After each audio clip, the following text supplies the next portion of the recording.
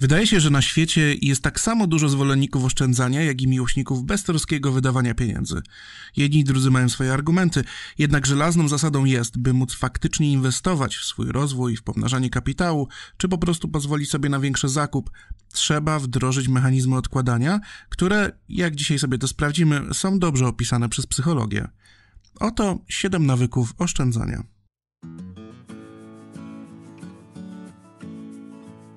Pieniądze to temat, który wywołuje dużo emocji. Z reguły jest ich zbyt mało, a gdy inni je wydają, to mamy najczęściej lepszy pomysł, co z nimi moglibyśmy zrobić. Pieniądze też mają swoją, w cudzysłowie, lepkość, to znaczy, że jednych się trzymają, a inni żyją od pierwszego do pierwszego. Każdy z nas chyba zna osoby, pary, które zarabiają niemal minimalną krajową, a i tak co roku pozwalają sobie na w miarę przyzwoite wakacje, utrzymują w dobrym stanie niezbyt stary samochód itd.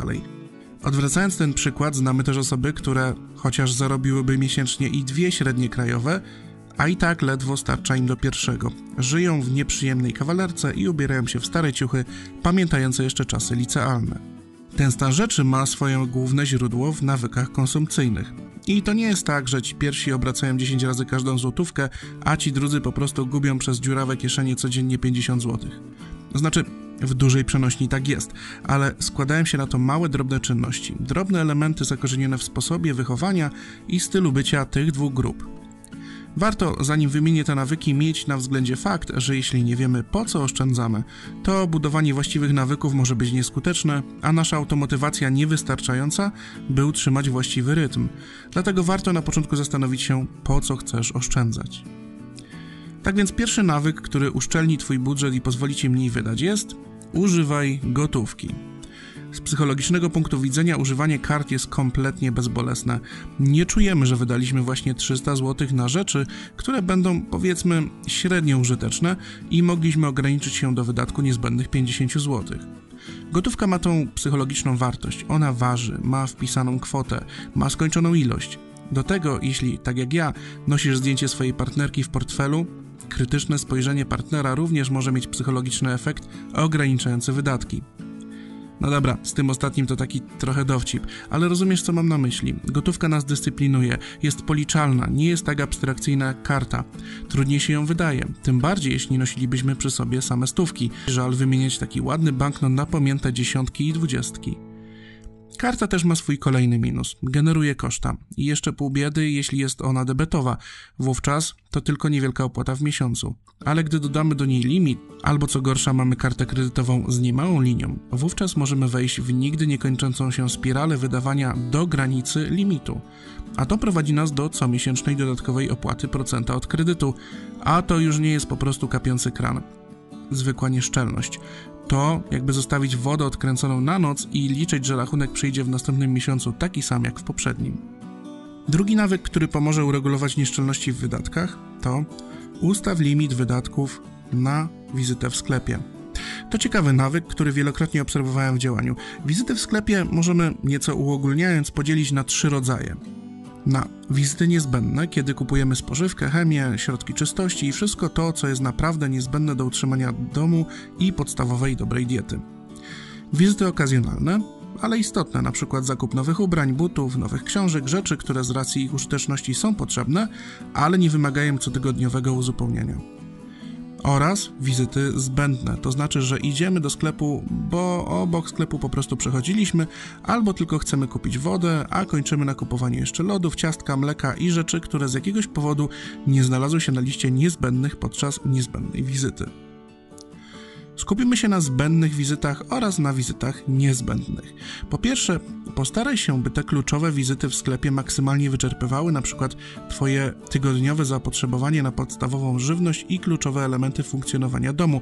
Na przykład, gdy masz kota bądź psa, staraj się jednorazowo zaopatrzyć go w jedzenie i środki czystości. Tak samo przemyśl, ile potrzebujesz mleka do kawy, jajek itd. Tak to wszystko wymaga odrobiny zaplanowania. Jeśli jednak robione jest z głową, wówczas ograniczymy potrzebę wyskoczenia do sklepu tylko po mleka, tylko po karmę dla kota, tylko po jedną drobnostkę, której zapomnieliśmy w naszych głównych zakupach. Naszym prawdziwym przeciwnikiem tutaj będą te zbędne, niezaplanowane wizyty w sklepie.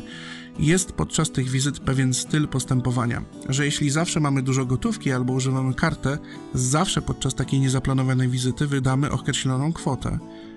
Gdy sam wdrażałem ten nawyk, u mnie było to minimum 12 zł. Nawet jak szedłem po mleko, to zawsze kupiłem rzeczy za ponad 12 zł, czasem i ponad 20. Zaobserwowałem tą prawidłowość i jeśli dobrze przyjrzysz się swoim nawykom, będziesz w stanie wskazać minimalną kwotę, jaką wydajesz podczas takiej wizyty, albo na przykład podczas całego dnia. Co z tym zrobić? Nie tylko ustalać maksymalną kwotę do wydania podczas takiej spontanicznej wizyty, w moim wypadku górną granicą było 10 zł. Najlepiej, jeśli jest to tylko krótkie wyjście z domu, nie brać ze sobą portfela, tylko sam banknot 10-złotowy i nic więcej czyli obserwacja swoich spontanicznych wizyt w sklepie, sprawdzanie paragonów, znalezienie prawidłowości i jej ukrócenie poprzez po prostu ograniczanie wydatku. Trzecim dobrym nawykiem są automatyczne przeniesienia. Wiele usług bankowych oferuje teraz comiesięczne usługi transferu określonych kwot na konta oszczędnościowe. Jak to mówią, czego oczy nie widzą i ręce nie robią, tego sercu nie żal. Chodzi o maksymalne upłynnienie procesu odłożenia drobnych co miesiąc na konto oszczędnościowe, które nie jest powiązane z żadną kartą płatniczą i wyciąganie z niego pieniędzy jest trochę bardziej skomplikowane. Jeśli coś dzieje się bez wysiłku, to wspomaga nasz proces oszczędzania. Wykorzystujemy tutaj mechanizm automatyzacji, gdzie trudną decyzję do skonfigurowania automatu podjęliśmy raz i więcej nie musimy do niej wracać. Gdybyśmy chcieli robić tradycyjnie co miesiąc przelew, Trzeba było co miesiąc podjąć tę decyzję, zalogować się i pokonać wszystkie z pozoru błahe detale, ale właśnie one często zagnieżdżają nam w głowie taką myśl, że co tam, przecież będę panował nad wydatkami i zostawię na głównym koncie te 200 zł i w przyszłej wypłacie przeleję na oszczędnościowe 400. Zrobię to po prostu raz.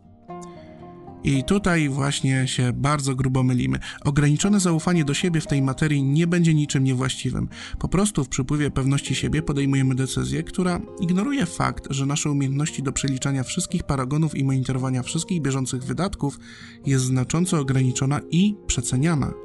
Nie jesteśmy genialnymi matematykami czy savantami, którzy monitorują każdą drobną transakcję w swoim życiu w ciągu miesiąca czy nawet roku, a później niestety przykro się zaskakujemy. Stąd też automaty odkładające z każdej wypłaty parę złotych to bardzo przydatna rzecz. Czwartym dobrym nawykiem jest unikanie impulsywnych zakupów. Unikanie impulsów również oznacza unikanie krzykliwych promocji i reklam. Paradoksalnie podczas dobrej promocji wydamy więcej niż moglibyśmy wydać na regularnych zakupach. Ekscytacja promocją, poczucie dobrze wydanych pieniędzy, te psychologiczne efekty sprawiają, że jesteśmy skorzy do nagradzania siebie dodatkowymi, niezbyt potrzebnymi zakupami. Tutaj działa ten sam mechanizm, który kieruje konstruktorów przestrzeni sklepowej do planowania działu z warzywami i owocami na początku ścieżki sklepowej. Gdy napakujemy do koszyka zdrowych produktów, będziemy bardziej skłonni do zakupu niezdrowych, słodkich lub słonych przysmaków, tylko z samego faktu, że czujemy się lepiej, zdrowiej, po dobrym wyborze na samym początku. Niestety oba te mechanizmy, czyli krzykliwe promocje, jak i usprawiedliwianie niezdrowego jedzenia zdrowym ze spodu koszyka, to decyzje podejmowane pod wpływem impulsu. W obu przypadkach wydajemy więcej niż zaplanowaliśmy, a do tego w wypadku naprawdę agresywnej promocji na np. karpia czy torebki nie weźmiemy udziału w wyścigu i bójce z licznie zgromadzonymi konsumentami kupującymi na oślep dowolną ilość przecenianego produktu. Piąty nawyk. Idź na zakupy najedzony. To poniekąd nawiązuje do poprzedniego punktu. Bardzo silnym impulsem zakupowym jest głód. Uczucie ssania jest niewygodne, osłabia naszą wolę, a nadpodaż produktów w sklepie skłania nas do przeszacowania własnych zdolności do konsumpcji. A to prowadzi nas do kupienia zbyt dużej ilości produktów. Poczucie sytości pomaga nam odmówić sobie i promocji. Wzmacnia naszą asertywność, uspokaja nas. Szósty nawyk. Pytaj się samego siebie, czy naprawdę tego potrzebuję. I istotą jest tutaj kupowanie pod impulsem przedmiotu, urządzenia, na przykład nowego telefonu, bo jest akurat na promocji. Sam często się na tym łapię, że niemal automatycznie zaczynam racjonalizować taką decyzję. Albo mój obecny smartfon słabo już trzyma, albo ma już ponad rok, albo to nie jest topowy model i tak dalej.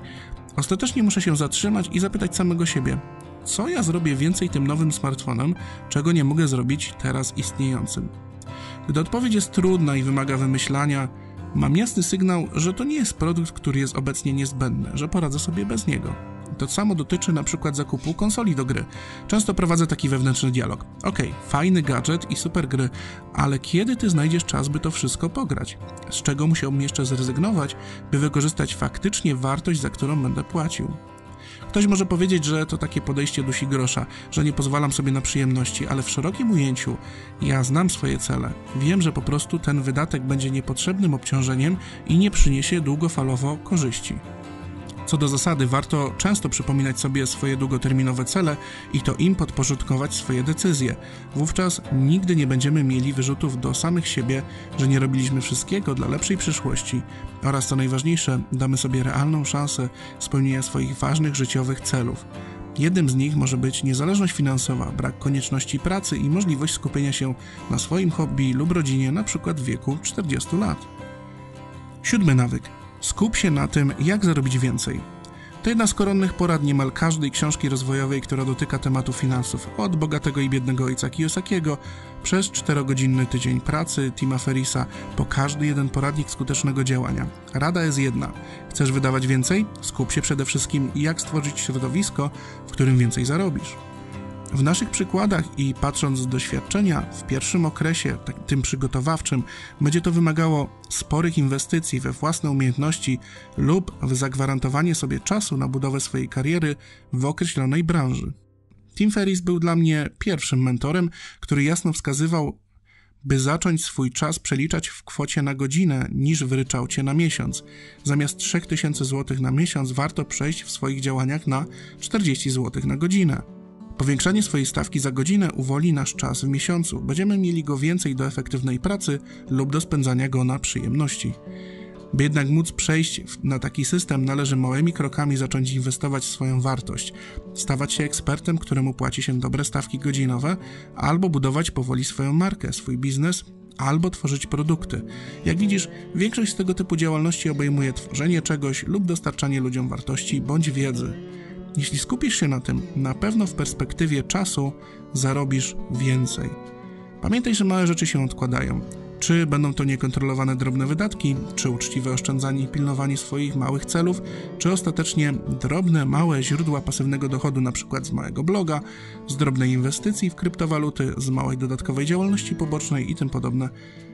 Doceńmy efekt skali tego, że proces oszczędzania i ostatecznie realizacji naszych dużych życiowych celów będzie trwał nie kwartał, ale raczej dekadę i więcej.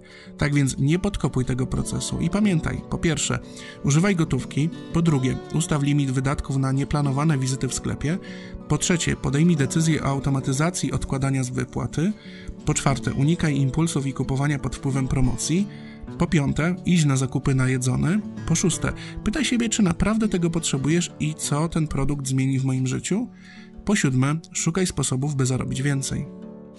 Oczywiście lista sposobów oszczędzania jest dużo szersza, nie poruszyliśmy nawet słowem takiej trudnej rzeczy jak pilnowanie miesięcznego bilansu, ale te podwaliny psychologiczne i praktyczne do realnego działania będą miały tylko sens, kiedy będziemy wiedzieli, dlaczego chcemy oszczędzać i po co to robimy. Życząc Ci znalezienia tego po co, dziękuję za Twój czas i pamiętaj, pozostań nieprzeciętny.